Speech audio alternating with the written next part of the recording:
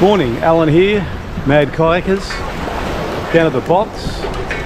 Uh, it's uh, Wednesday, midday, top of the tide, just about to start turning.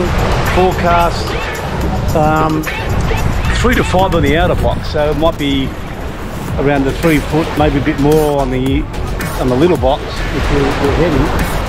Um, looks like we can see some white water there when the sets come through, so that looks pretty promising. Maybe a little storm later, but we hope not. That's the forecast. We'll keep an eye on that. We've got a few here today with Aaron, Pete, Al, myself, and waiting for Denise. Uh, she's due to come, yeah? Uh, and we've got some ground support over there we're just going to uh, observe. Wish us luck.